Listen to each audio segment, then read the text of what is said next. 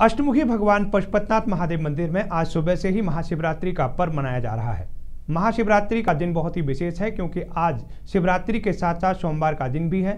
सोमवार का दिन विशेष रूप से भगवान शंकर का दिन होता है। इसी वजह से आज सोमवार की महाशिवरात्रि का महत्व धार्मिक और पौराणिक दृष्टि से भी बहुत ही महत्वपूर्ण माना गया है। आज ही के दिन पौराणिक मान्यता के अनुसार भगवान शिव और माता पार्वती का विवाह संपन्न हुआ था। आज महाशिवरात्रि के दिन भक्त विशेष रूप से भगवान शिव और माता पार्वती की पूजा अर्चना कर उपवास रखते हैं, जिसका बहुत बड़ा महत्व है, क्योंकि भगवान शिव अपने भक्तों के प्रेम भाव से प्रसन्न होने वाले एकमात्र हैं और भक्तों की सभी मनोकामना पूरी करते हैं। आज के दिन भक्त भगवान को जल, दूध, दही को पंचामृत बनाकर अभिषेक करते हैं, पुष्प, आंकड़ा, धतूरा आदि भी देवादिदेव, महादेव को अर्पण करते हैं, जो भगवान को अति प्रिय है। आज महाशिवरात्रि के दिन सभी मंदिरों के कपाट सुबह चार बजे खुल गए थे। भक्तों का जमबाड़ा शुरू होने लगा। सभी अपने श्रद्धा भाव से अपने भगवान को प्रसन्न करने के लिए पहुँच रहे हैं जो पूरे दिन बना रहेगा। भगवान के दर्शन करने हज़ारों की संख्या में लोग दूर दूर से मंदिर पहुँच रहे हैं।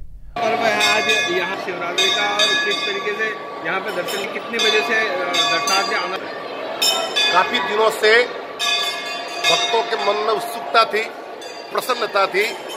कि आज हमारे यहाँ पर महाशिवरात्रि का महापर्व सोमवार के दिन आ रहा है। सोमवार के दिन होने से इसका महत्व बढ़ जाता है।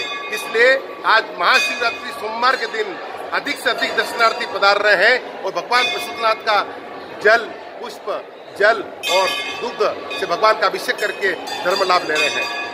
महाशिवरात्रि पर भगवान शंकर जी की और पार्वती जी की पूजा करने से कन्याएँ होती उनकी वर्चित मनचित वर, वर की प्राप्ति होती है और सौभाग्य स्त्रियाँ होती है। उनके प्रति दीर्घायु चिराई होते हैं और परिवार समस्त इच्छाएँ भगवान आकांक्षा इच्छाएँ पूर्ण करते हैं और भगवान शंकर जी समस्त इच्छाएँ पूर्ण करते हैं।